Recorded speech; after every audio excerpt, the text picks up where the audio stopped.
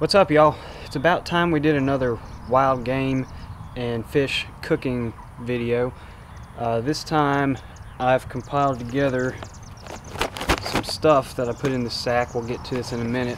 Uh, today I'll be cooking deer steak, wild turkey breast, and some bass fillets.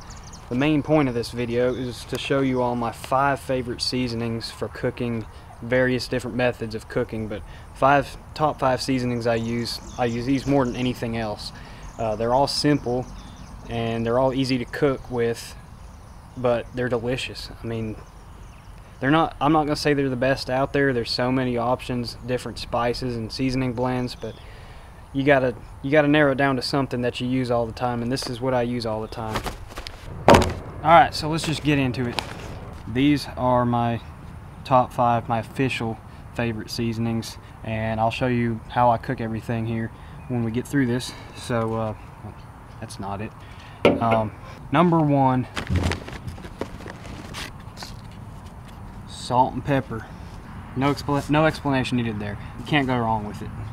Number two, this is in no particular order other than salt and pepper. This is no particular order. But number two, Tony Chachere's Creole seasoning.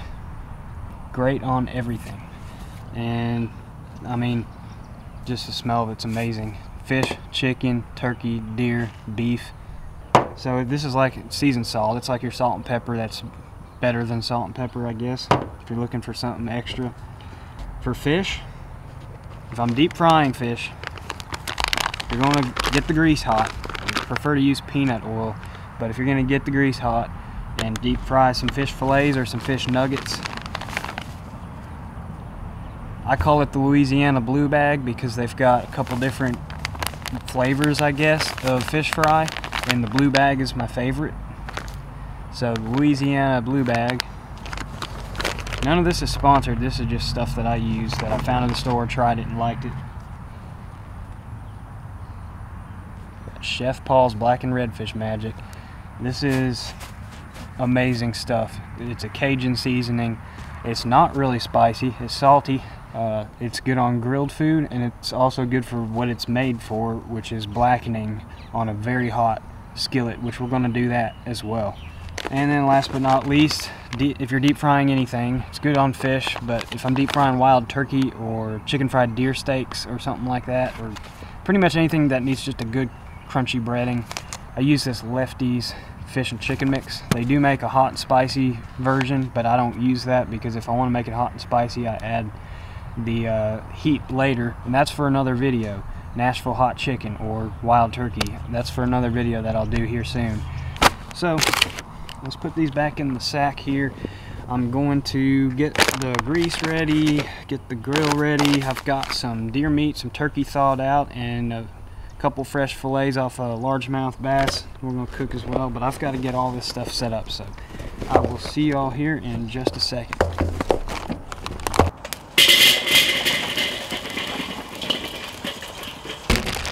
Alright, first we're going to be grilling some deer and turkey. But uh, we got some backstrap medallions. This deer steak, I'm to do salt and pepper. Don't be afraid to put that salt on a little bit thick. Salt the sides of it too. It's a pretty decently thick steak. And we're just salting the outside, so just think of like soft pretzels. They got a lot of salt on the outside, but nothing on the inside, so don't be afraid to go a little heavy on the salt. For the other one, just to switch it up, I've cooked deer steak like this a few times and it's amazing. Little Tony Chachere's on this one. Kind of spread that out a little bit. To keep it from sticking to the grill, give it a little bit of something. This will also help give it a better crust. But I like to put a little olive oil turn them around a few times, get a little bit of coating of oil. Y'all can probably hear my chickens behind me. I'm to take some of this wild turkey breast. Now, I cut it into strips. I cut across the grain, which will make it a lot more tender. Not that it's a very tough piece of meat, but it is tougher than domestic turkey, than store-bought turkey. So it's, it's kind of similar to a steak in that sense, where you cut across the grain, it's a lot more tender. I'm not cooking all of it. I'm saving the rest of it for another method we'll do here in a minute. I'm gonna do half of it in Tony Chachere's. Flip it over. And then the other half I'm to do in Chef Paul's Blackened Redfish Magic because they're both amazing. Sides. And I'm going to do the same thing with the olive oil on these so they don't stick to the grill and they get that nice crust on the outside.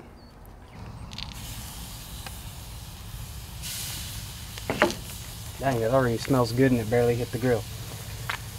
Our turkey strips. The turkey will cook a little faster. It might not because we're not going to cook the deer meat all the way through.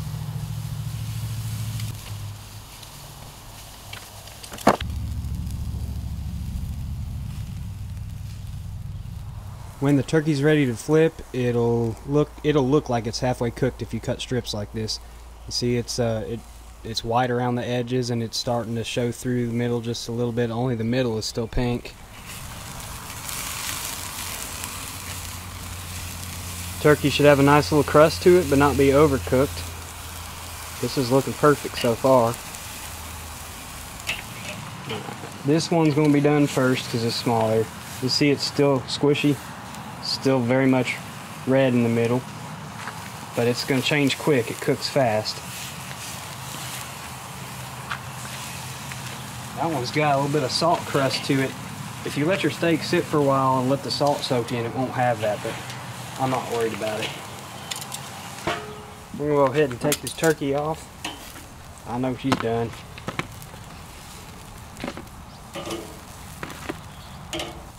Alright, the deer meat. Still got some give to it. This, like I said, this one's gonna be done first. It's a smaller piece. Got a little more time, but not much. Like literally, like maybe 30 seconds. If you're not sure about like testing it by seeing how squishy it is, uh, you kind of learn that through trial and error. That's how I did. I overcooked a bunch of steaks by cooking them too long. But uh, get a little meat thermometer like this one and stick it in there. You don't want to go past 120, 125 uh, if you want it nice and red in the middle. Uh, 160 I guess is well done. So this is the finishing touch here. Put a piece of butter on top and let it melt. You want to let your steak rest for a minute anyway before you eat it. That butter's just going to add that little bit extra juiciness that it needed.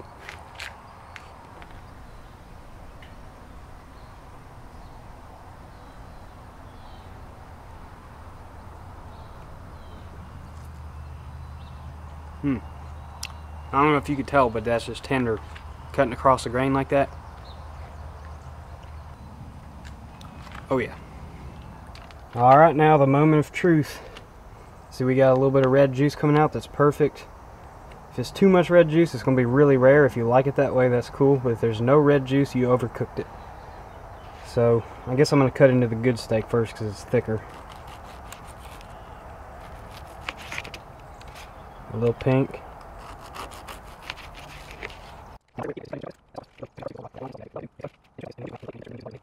Looks like they both turned out pretty good. The thing with deer meat is, if you cook it well done, a steak like this, it's going to be very tough and very dry and not enjoyable. That's why I keep saying you got to cook it with at least a little bit of red in the middle.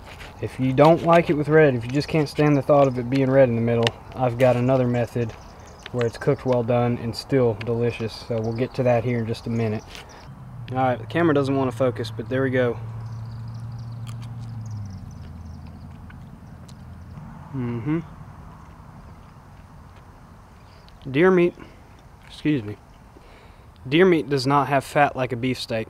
My favorite steak, admittedly, is ribeye. It's got a lot of marbling, a lot of fat. Deer doesn't have that. But that doesn't mean the flavor isn't there. The flavor's there, you just cannot overcook it or it gets very dry. And if you insist on cooking it well done, I'm going to show you how to do that right. Alright, now next up is blackened fish. So I got a little iron skillet here. You can use a regular skillet. Just make sure it's smoking hot. Now, this has got seasoning on it, like oils and stuff, so the oil will start to smoke a little when it's hot enough. If you're using a clean skillet, like a regular skillet, uh, maybe just put a little bit of oil on it just so you can tell when it's hot enough.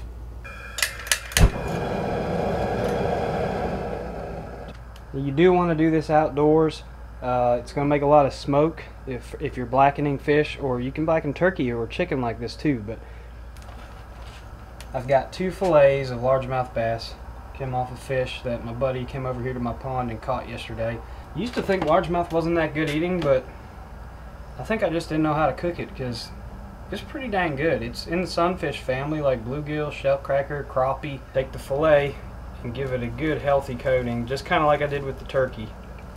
Give it a good healthy coating of that blackened seasoning. Make sure it sticks good. Turn it over. I'm not Cajun. Maybe I'm doing it my own way. Maybe I'm doing it a little different than somebody else may do it. But this has worked perfectly well for me. So now we got filet that is coated nicely. So now what I do is take the melted butter and we're just gonna same with same as I did with the olive oil. Just coat the fish in the butter.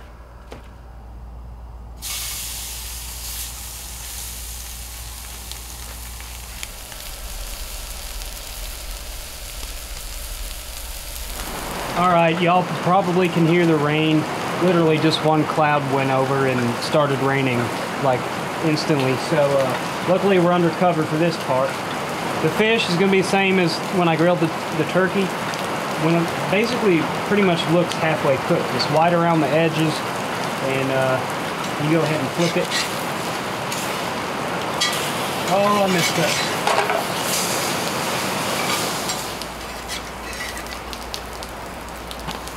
That's perfect. I can't pick the skillet up my hand, it's too hot. I'm gonna set her down over here somewhere. This is blackened fish, the blackened largemouth bass. I like to cook smallmouth this way, walleye, even catfish.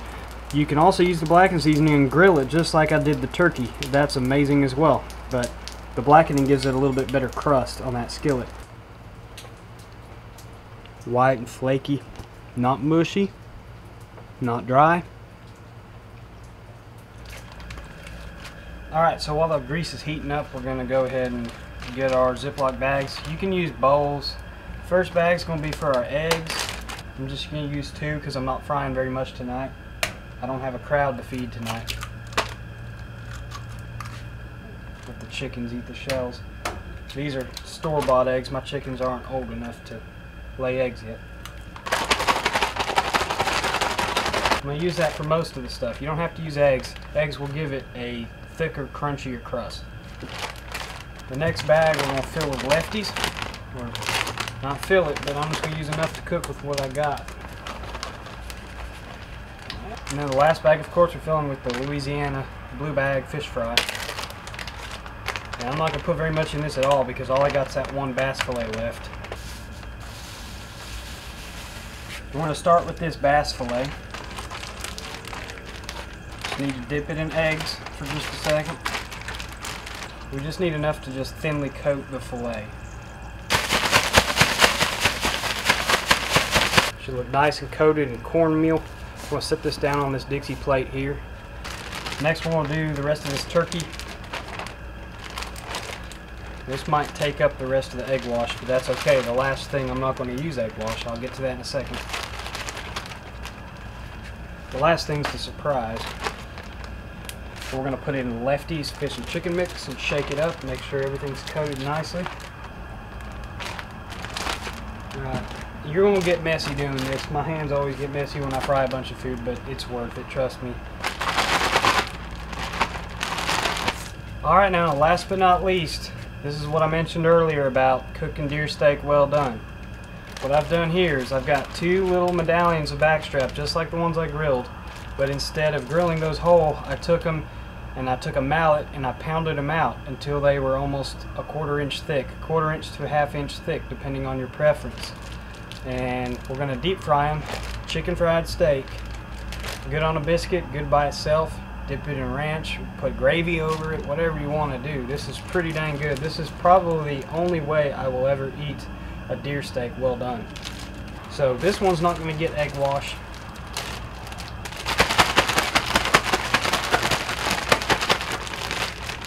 So this is essentially a minute steak. deer steak that's been pounded out really thin. This was this was about an inch and a half thick before I pounded it out. All right, we're right at 350. We'll start out with the turkey.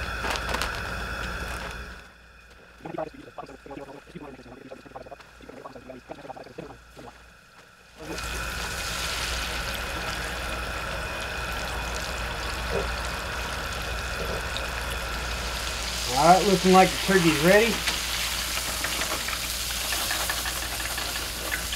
Let it drain out. While that cools off, we'll get the next batch ready. So for this round, we're going to do that last bit of bass and the two deer steaks. And then we'll be done. Finally.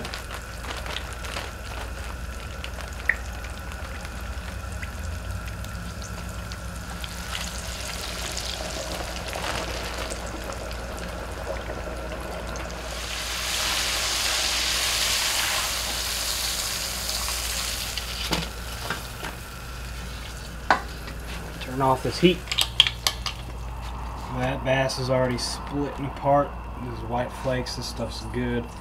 We got chicken fried deer steak and chicken fried woodland chicken, turkey. Alright, well there you have it. I'm gonna take a piece of this bass. I don't know if you can see as well as I can, but that is perfect. Still very hot. Mmm. Mmm. Usually we have a few buddies over here and we'll cook a bunch of stuff, but I wanted to take the time just to make a video for y'all to show you how I cook fish and wild game and how to do it simple. Um, obviously the deep frying is a little bit of a task to get everything set up and make a big mess, but it's still pretty simple, especially the grilling and blackening is the most simple out there. So next time you're scratching your head thinking, oh, I've seen all these recipes, how do I cook my deer steak? And, and, I mean, just keep it simple. It's really, like wild game is better than we give it credit for because, no offense to anyone, but a lot of people don't know how to cook it. And for a long time, neither did I, especially with fish because I started fishing at a young age. I didn't know how to cook it. And I used to think largemouth bass was not good eating because I sucked at cooking. So hopefully this gives you all a little bit of insight on it just the basics of cooking wild game. I'm not a chef. I worked at a restaurant for six years, but that doesn't make me a chef. I'm far from it. But if you keep it simple and just keep in mind, you know, just take use a little common sense. Don't overcook things that shouldn't be overcooked. Use good seasonings. Make sure your grill or your grease or your skillet is hot enough before you put it in there so you get that crust. That's all there is to it. Hope you all enjoyed. Thanks for watching and uh, I will see y'all next time.